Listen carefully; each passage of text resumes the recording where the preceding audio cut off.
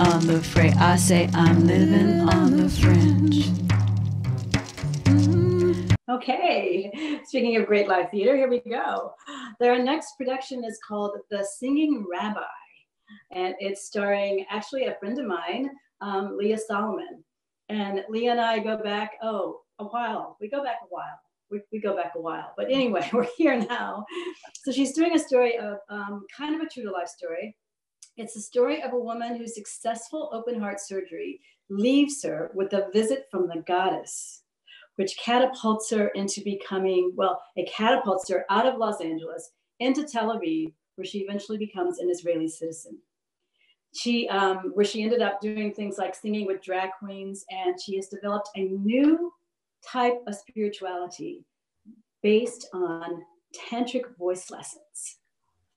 So all the way live from tel aviv israel leah solomon and the singing rabbi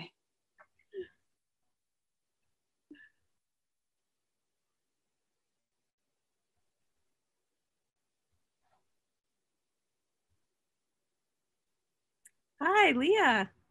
Hey, Leah. You look great. Oh, no. Yeah, there you go. Hi.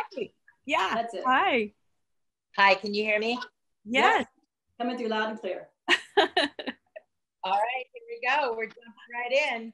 All right, jump right on in there. All right, we're going to welcome the angels. Shalom Aleichem, Maleche HaShalom, Maleche Elyon.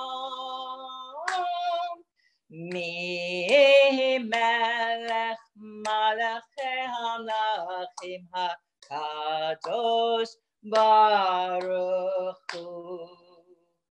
We welcome the angels here to Tel Aviv tonight in the darkness at 2:30 a.m. I figured I'd need them for this show, and they've been with me so much my whole life. They were with me at the time of my aorta tear operation in my heart.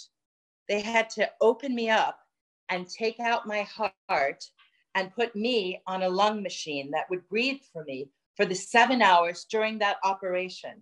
This all happened in the Palm Springs Desert Heart Hospital. I survived. It's a very dangerous operation. Most people die on the table. So I know that my angels were there.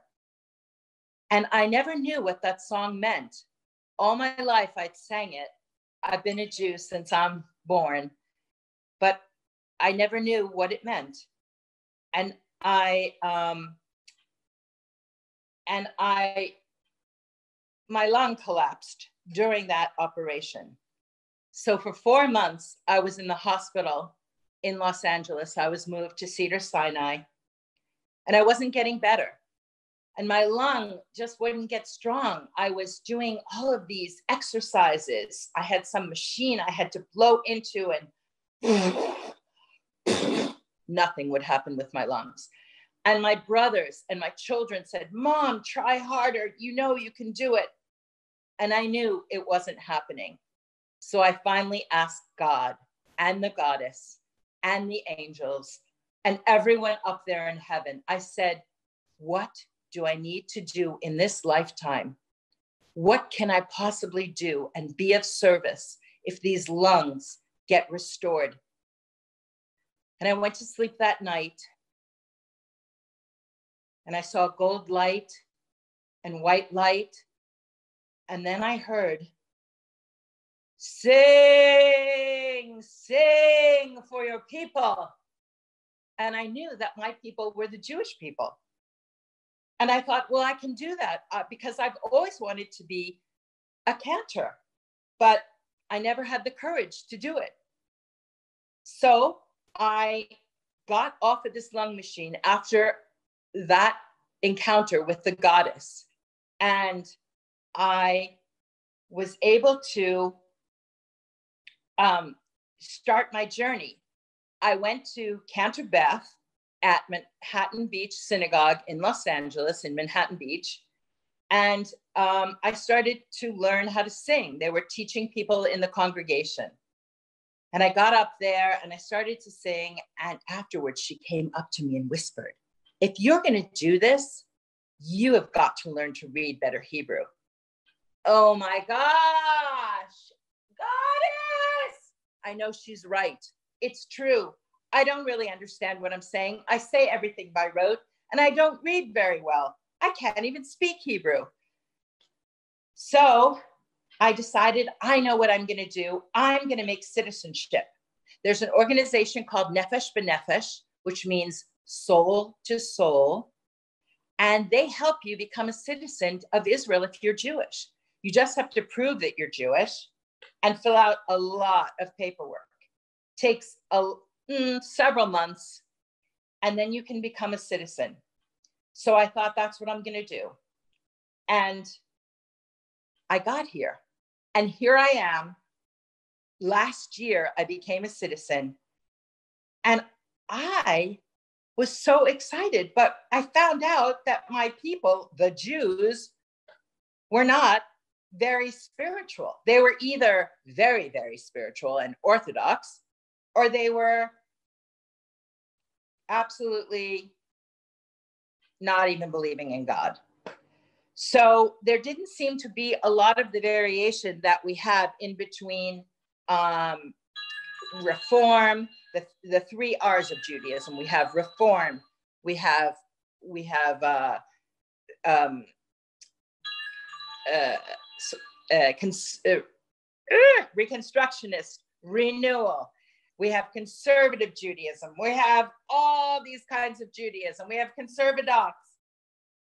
Worse than that, we have such prejudice and racism among Jews. It's no wonder we can't even get along with the Arabs. We're brothers with the Arabs. The tribe of Ishmael, they got they got lost and they say that they may have gone on to become the Muslim religion. So that's how close we are with the Arabs and we can't get along.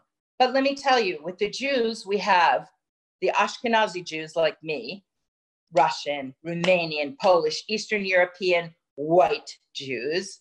This, then we have the Sephardic, Moroccan, Spanish, Ar- Argentinian, Colombian, and then there's the Mizrahi Jews who are Egyptian, Algerian, Libyan, Iraqi, and their food is the best. And then we have the Yemenites and the Ethiopian Jews. There's so many Jews. There's Chinese Jews. I never, there's even a museum called Beit Hatfutsot, which means Museum of the D- Diaspora. So naturally, I was a little bit shocked uh, at what I found here. But because I became a citizen, I learned to have hope. And the national anthem is called Hatikva. So I just want to sing a few lines of Hatikva. Any of you that know it, sing it with me. Kolot baleva kadima ayin letzion pofia od lovda tikvatenu hatikva shnatapayim Povshi be'artzenu Eretz Zion Yerushalayim. By the way, I'm not a rabbi. My show is called The Singing Rabbi because when I wanted to become a cantor, a cantorial soloist, that's someone who hasn't gone to become ordained for five years people didn't know what I was talking about. They'd say, huh? So I finally said, you know, a singing rabbi. And they were like, oh, right. Okay. You want to be a singing rabbi? I was like, yes. Now I know at age 60, this is my life's purpose. So um, I, I uh, decided when I first got to Israel that I would spend time with the in Orthodox homes in Jerusalem. I was invited into many Shabbats. I learned different ways of praying than the way that I was raised, more, more thorough. I went to the Western Wall. I went to the, which we call the Kotel in Hebrew, and said many prayers. I visited the disputed territory of the Temple Mount, which is also called the Al Aqsa Mosque or Haram Esh Sharif. And it's also, a, there's a Christian church on that same spot, all three in one. And I I got to see these holy sites and experience the Muslims in their holy sites and the Christians. And that's the beautiful thing about the old city of Jerusalem. You have four quarters a Muslim quarter, a Christian quarter, a Jewish quarter. And my most interesting trip when I first got here was a trip with Abraham Hostel to Hebron. Hebron is another disputed territory. It's in the West Bank. Jews are no longer allowed, Jews are kind of, they're allowed to go there, but it's sort of forbidden to tour the, um, the, the tomb of the patriarchs, which is one of the, the Jewish holiest sites. And it's also a holy site for the Muslims. So the first half of the day, you go with a Jewish settler and he takes you around and shows you and talks to you and tells you all the reasons why the Jews should be there. And then you have lunch with a Palestinian young boy, about 30, and he tells you all the reasons why the Palestinians belong there. And at the beginning of the tour, they tell you you're going to be more confused than when you ever got there. And the truth is, we were more confused. You end up loving both sides, both people when it's human when it's people to people it's all about humanity it's not about the right it's about the people and you and um, then i went on an amazing tour to the galilee which was a, another pilgrimage towards the dead sea and the jordan river where they say peter betrayed jesus and walked on water and it, I was sitting at the waterfall and listening to the water, and an entire group of Christian pilgrims came around me with their Bibles and started praying and praying to Jesus, praying to Peter, and I got to witness this. I felt spirituality is within all of us. Doesn't matter what is your race, creed, religion, we're all one. And then I took another trip up to the up to Tiberias.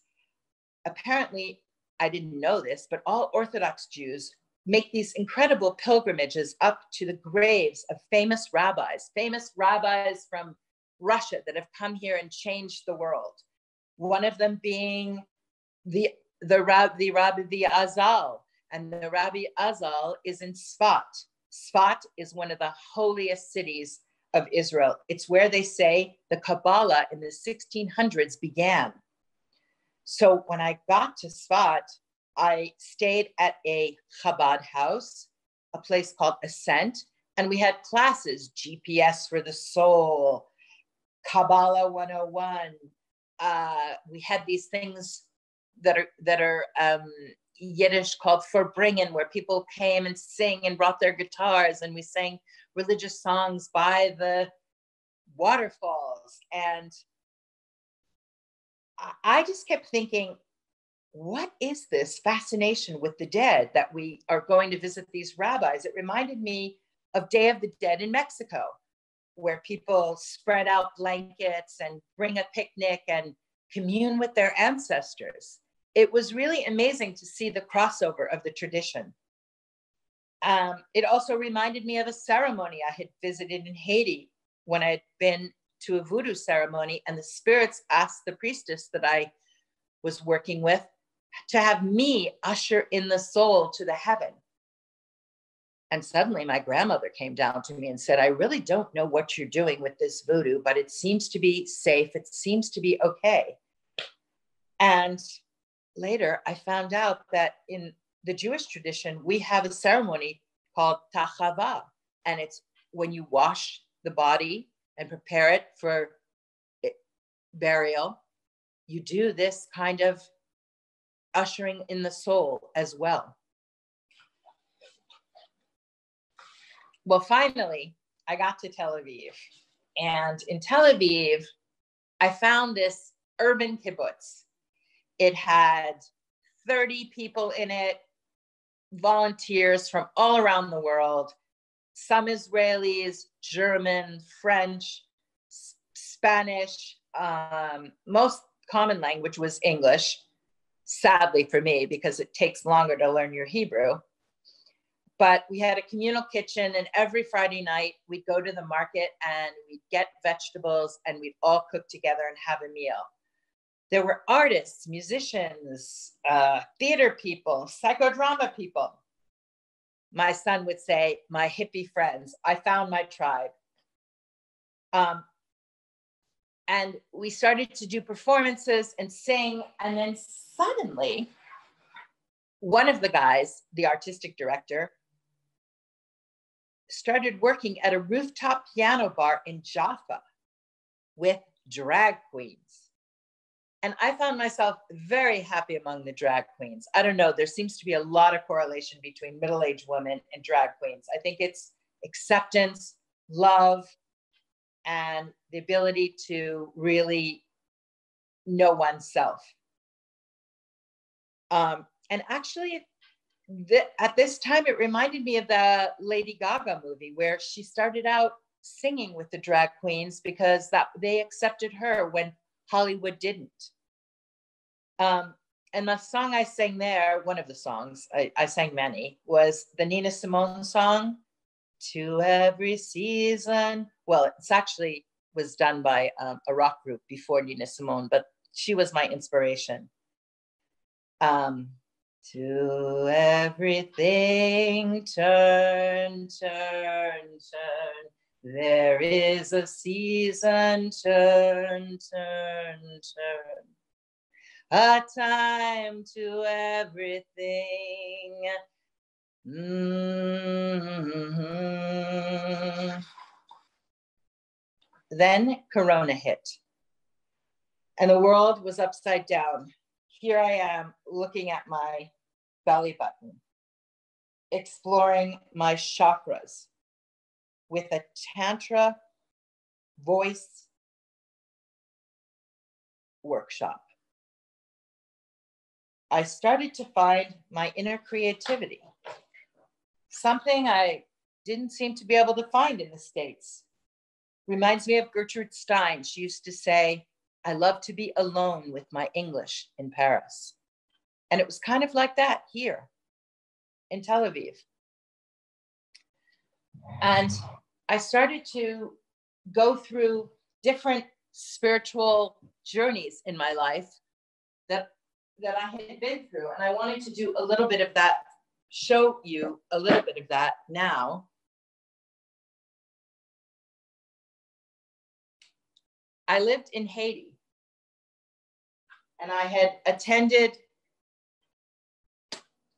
a ceremony in the woods out in a umfor and we began to sing to the god of the underworld baron samedi he was the guardian and to the gede. And we would do the banda and sing. Ezulineneno, semwe memoria gasa, ute medam petit Ezulineneno, semwe.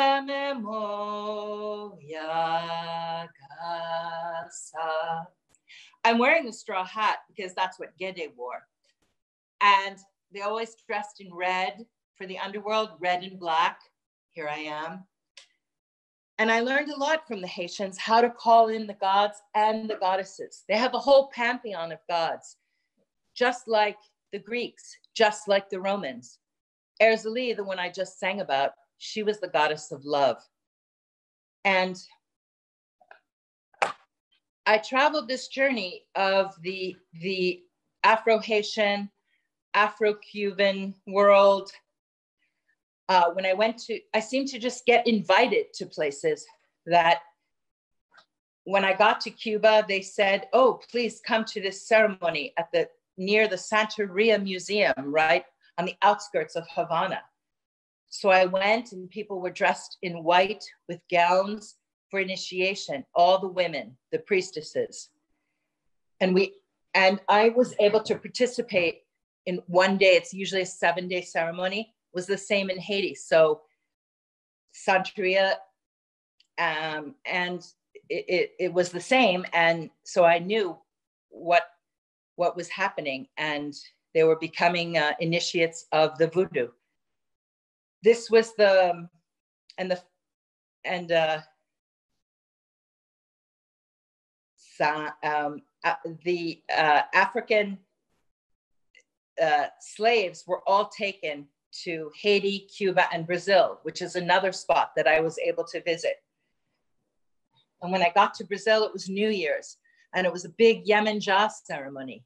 Yemenja, she's the goddess of the water, Yemenya. And we sang Yemenya, Yemenya, ole, oh, paz, paz, nos, paz, paz, nos. We asked her to just take away all our pain and bring it out to the sea. And this was um, not a private ceremony like it had been in Haiti. It was one that was all along the sea, the border of the sea, and all the Brazilians were out. It was New Year's after all.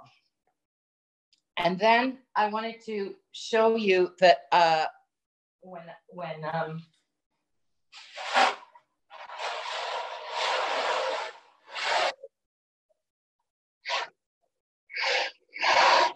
I kind of went across the waters and landed on another spiritual journey, which is why I think my angels wanted me finally to come home to my Judaism. But in the meantime, I'm still traveling. And then in Bali suddenly. And in Bali, I'm wearing a mask because we're doing the monkey dance. The monkey is Hanuman.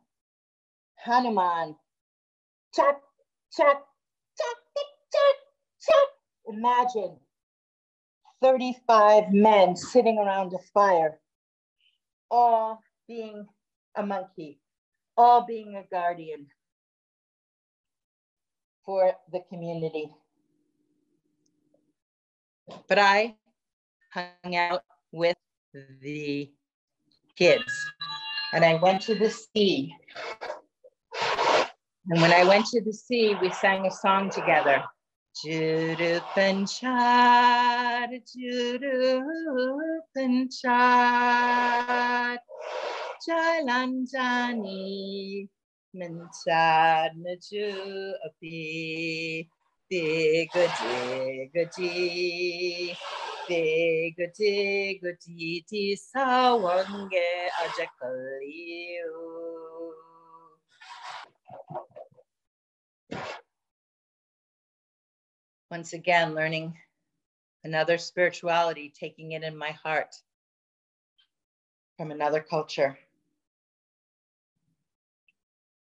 And then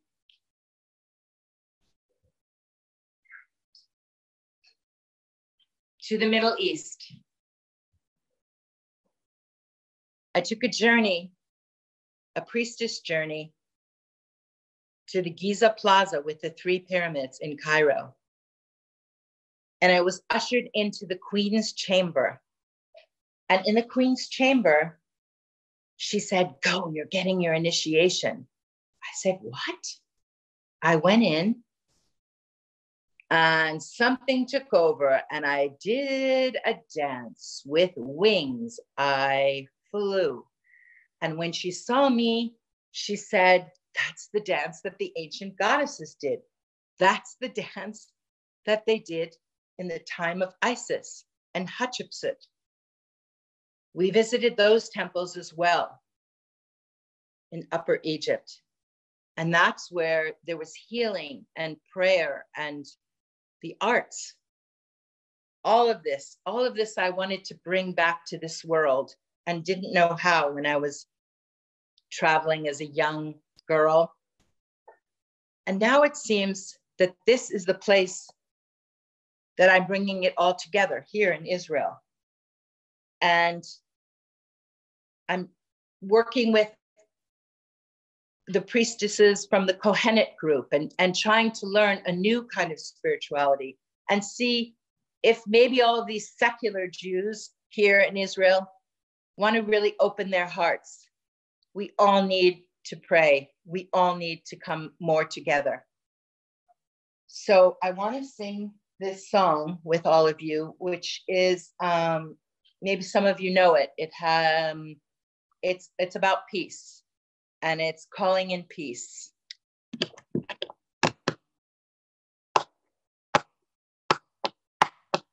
Odivo shalom aleinu, Odivo shalom aleinu, Odivo shalom aleinu,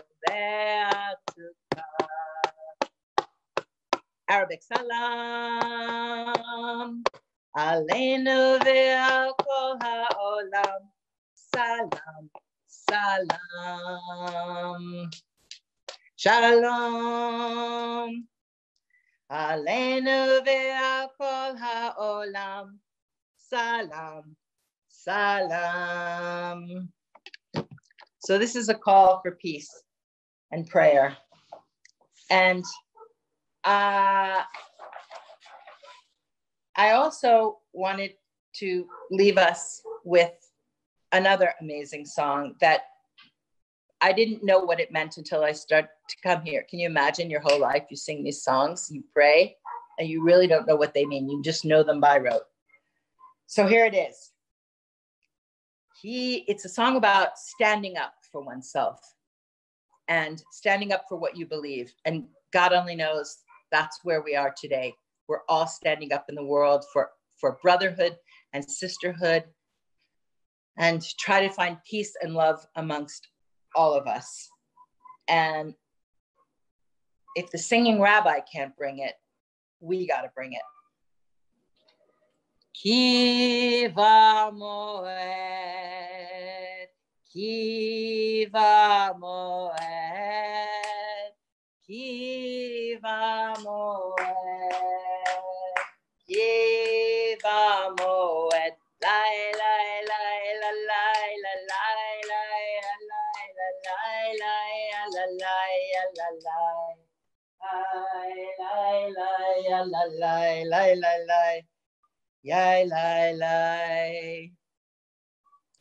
So it seems that because it's 2.30 in the morning, I have raced through my my piece and I'm actually done. So if there's any questions, is there any way that people could ask me questions? I would love to use the rest of the time to have some kind of an interactive discussion with all of you since I'm kind of alone here. hey, Leah. Actually, we are actually a little bit behind in our schedule, but um, we can, when we post your video, we can also point, we can also post a, a, um, an email or a website and people that want to contact you about that, we're more than happy to have them do that. I want okay, to thank perfect. you for that, that's that long spiritual journey. Oh my goodness. it must be great to feel yourself at home in Tel Aviv. Yeah, so, it's still going on. It's still going on, and the Hebrew's coming along. So thank you very much. Yeah. Oh, you're welcome. You have a great night. Okay. Yeah, thank you. Thank you for staying up so late with us. It's uh, what three ten there now. Yeah, uh, yeah, I'm gonna get online and watch everything because I'm so wired with the coffee. All right. Oh, bye. bye. Thank you so much, Leah.